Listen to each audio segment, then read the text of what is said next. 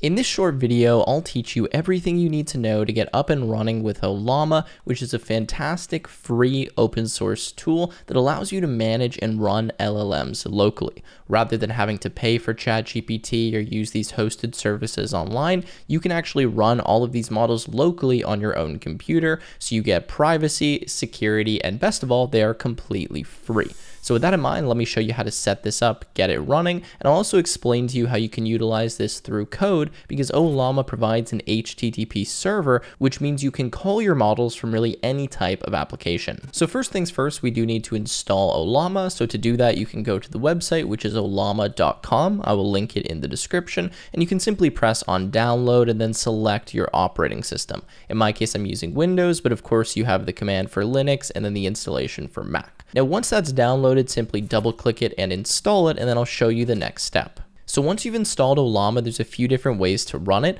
First of all, you can just open the desktop application. So if you're on Windows, you can go here to the search bar and just search for Ollama. If you're on Mac, you can simply go to the Spotlight search, same for Linux, and just run the application. Now, when you do that, nothing's going to appear on your screen. And the reason for that is this just starts a backend server that's running the Ollama service. Now, the other way to do this is to open up a command prompt or a terminal. So you can see I'm in command prompt here on Windows, and then to simply just type Ollama.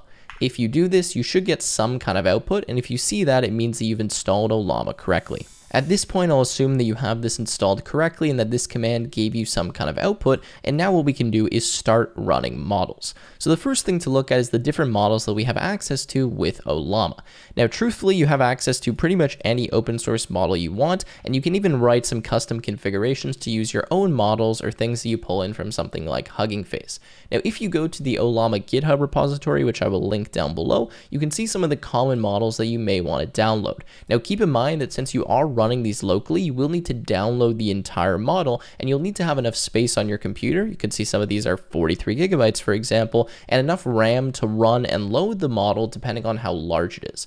So you see if we look through here, it defines the number of parameters for these models. If we look at something like Llama 3.1, we have 231 gigabytes and 405 billion parameters. And if you go down here to this note, it specifies how many gigabytes of RAM you should have based on the different model parameters. So even on my computer, which has 64 gigabytes of RAM, it would be difficult to load the new Llama 3.1 model with the 405 billion parameters. So keep that in mind when you are choosing the models that you want to use. For now, I'm just going to go with the standard Llama 2 model because this is older and it's not as large and I know that I can run it and most of you should be able to run it as well. So I'm going to show you how we can pull that. But if you're looking for a list of all of the models you have available, you can go to the Ollama library. So if you go to ollama.com slash library and you can scroll through here and you'll see there are hundreds of different models. You can sort them, you can filter, and you can find even multimodal models that accept things like video, photos, voice, etc. So once you've decided on a model that you'd like to run, it's very simple to do so. All you need to do is type Ollama, run, and then the identifier of that model.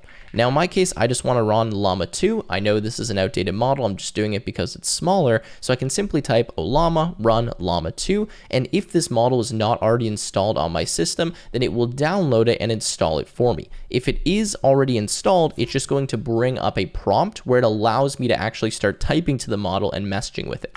So notice here that it's just loading and it kind of gives me these three arrows and I can just start typing something to the model and get some kind of response. And you can see that's pretty much instant because there's no latency. See, it's running on my own machine. Now again, if this wasn't already installed, it would start pulling the model for you and then you would have to wait for it to finish. It would install, then you can run the model and you can start using it. Now after some experimentation, it's told me that you can type slash bye to get out of this. So if I type slash bye, you can see that it will enclose this window. And then if we want, we can type Ollama and then list, and we can list the different models that we have available on our system. In this case, you can see I have Llama 2, which is the latest version. If I had any other models, they would show up here. So that's the basics running models using Ollama, but there's a lot more to show you, so make sure you stick around after a quick word from our sponsor. Today's video is sponsored by SEO Writing, a tool that's transforming content creation across different niches and industries. Their new brand voice feature lets you generate content that matches your unique style, whether you're writing tutorials, reviews, or even industry analysis. One click generates a complete blog post with AI generated images and relevant videos embedded automatically, potentially saving you hours of manual work. What sets SEO writing apart is their deep web research with built in citations. When you need accurate, up to date information, the platform pulls from reliable sources and adds citations automatically. Their humanized text feature helps your AI generated content stand out, while their external linking feature intelligently connects to relevant resources. And for all you WordPress users out there, there's a game changing feature that lets you connect your site and auto post content directly. This feature allows for consistent scheduling while focusing on other projects. Now, if you're ready to try it for yourself, then use my code TWT25 for a 25% discount. Click the link in the description and see how SEO writing can fit into your content strategy. All right, so we are continuing here and I want to show you what happens when you pull multiple models. So again, if we go back to the library, we can start looking through different models that we may want to utilize. Maybe I can even just go back here to the GitHub if I want to find them a little bit easier. And maybe I want to use the Mistral model as well. If that's the case, I can just copy this command or the name Mistral. I can go back here. I can simply run the command ollama run Mistral. It will then pull that manifest for me, pull the model. Once that's finished, I'll be able to use this and I'll show you how. So it looks like this has been downloaded and now I can start using the model if I want. I can exit out of this. And if I want to switch between the two different models, again, I just type Ollama run, and then I can specify the model that I want to use. So if I want to go back to Llama 2, I use Llama 2. If I want to go back to Mistral, I just type Mistral, and now I can start using Mistral. So you can have as many models as you want, and again, you can list them by typing Ollama list, and if you want all of the commands you can use, simply type Ollama, and then it will show you which ones you have access to. There's a lot of them. For example, you can also remove a model if you want to do that, copy a model. There's also customizations you can make to them, which I'll show you in just one second. All right, so all of that is great, but we probably want to know how to utilize these models from something like code from our applications. Sure, they're great to use here in the terminal, but a lot of times you want to integrate them with some kind of software, especially if you're a programmer and you watch this channel. So the interesting thing about Ollama is that it actually exposes an HTTP API on localhost. That means that anything we just did here with commands, we can actually trigger through the API. So we can send requests to this from something like curl, Postman, something like Python code, really any code at all that can send some type of HTTP request. Now, by default, if you're running Ollama, you should be able to see this if you're on Windows in kind of like the I don't know what you would call this services bar, wherever it's showing the running applications. And you can see I have this little Ollama logo. Now, when Ollama is running as the desktop application, by default, that port is going to be open. So you'll be able to access the HTTP API. But if for some reason this isn't running, so for example, if I quit this, what I can do to trigger that to run is I can simply type Ollama serve in my terminal.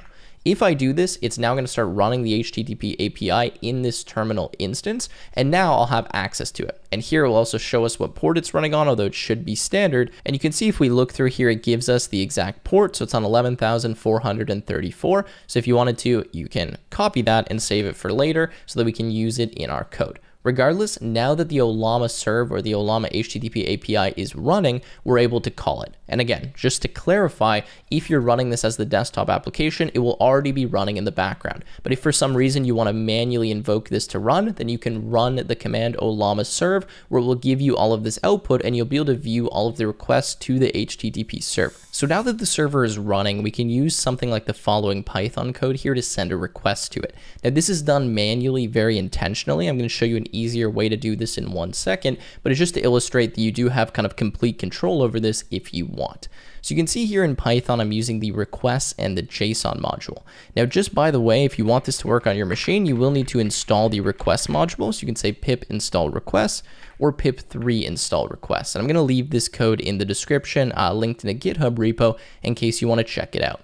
Then what we do is we define our base URL. This is the URL of the server, and then slash API slash chat. There's a lot of other endpoints that you can use here, and you can even control deleting models, adding models, etc. But in this case, we just want to chat with one of our models. Then we can define a payload. This is the model that we want to chat with. So in this case, I've gone with Mistral. And then we can define different messages. Here's a standard message with the role of a user. Next, we can send a post request here using request.post to our URL with our JSON payload, which is this right here, and enable the streaming mode, which allows us to grab all of the responses as they are typed. This way we can grab them in real time and we can show the model actually typing the response rather than waiting for the entire response to be generated and then viewing it. Now here's a little bit of code just to handle that streaming data for us. So we're going through all of the lines that are returned from this response, and then we are simply kind of printing them out, okay? So I'm gonna show you what happens when I run this. So we already have requests installed. And if I go Python sample request .py, just wait one second here, it will stream in all of the data and then print it out. So you can see that it's kind of printing it out line by line for us here as it gets it. And there you go, Python is a high level language, blah, blah, blah, gives us the answer. If we go back to the API, we can see that the request was sent here. It took 4.1 seconds to process and it returned to us that data. Sweet. So there you go. That is how you utilize the API manually, but a lot of you probably don't want to write all of this code. So instead, we can use a very simple module from Python called, you guessed it, Ollama. So if you're using Python or JavaScript, there are packages that will do this for you. So you can simply pip install Ollama or pip3 install Ollama in your system so that you have this module, and now you have access to the Ollama module. You can simply create a client, you can define your model, you can define some kind of prompt, and then you can use client.generate, specify the model, and the prompt, and then you can grab the response. Okay, so I'm going to quickly show this to you. I can run this code with python package.py, and you will see here in just one second that we should be able to get the response. Okay, and there you go, we get the response and it gives us the answer. So that is how you use the HTTP API. Now I'm going to show you how you can do some customizations to the models in Ollama. So moving on, I'll show you a quick customization that you can make to any of the models that you can pull with Ollama.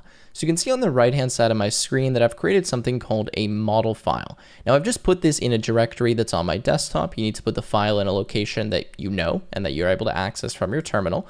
And for the model file, I've used this very simple syntax that I just took directly from the Ollama website. All you do is you specify from, and then you have some kind of base model. So in this case, we're using Llama 3.2, but you can use any model that you want that's available with Ollama. You can do something like set the temperature of the model. You don't need to do this, but there's some other parameters you can set as well. And then you're able to pass something like a system message, which is essentially kind of instructing the model what it's supposed to be doing and how it should handle the upcoming messages. So in this case, they've just written you are Mario from Super Mario Bros. Answer as Mario, the assistant only.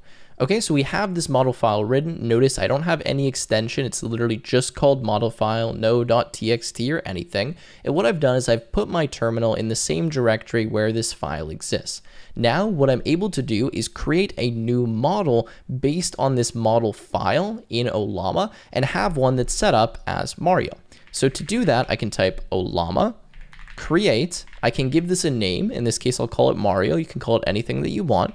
And then I'm going to specify dash F, which stands for file, and then the location of my model file. Now, in this case, it's just simply at slash model file. Okay, so I'm going to go ahead and create this, and you'll see that it says success. That's because I've already pulled model llama 3.2. So now, if I want to utilize this customized model, what I can do is type Ollama, run, and then the name of the model, which is Mario. And now if I say hello, you'll see that it says it's a me mario and it kind of uh, you know simulates like how mario would reply. So if you want to set up some custom models where they have some system prompts they have some different parameters set up with them you want to tweak them somehow you can do that using these model files and then you can simply create them in Ollama. now let's say you're done with this one and you want to remove it you can say rm or sorry Ollama, rm and then what is the name of this one? Mario and it will remove that. So now if we type Ollama list, you no longer see it. And also it's worth noting that these uh, models like Mario, you can utilize them from code. So in my Python code here, I can just specify Mario once that's created, and then I can use that. Anyways, guys, that is it. That's all I wanted to show you. I hope you found this valuable. If you did, make sure to leave a like, subscribe to the channel, and I will see you in the next one.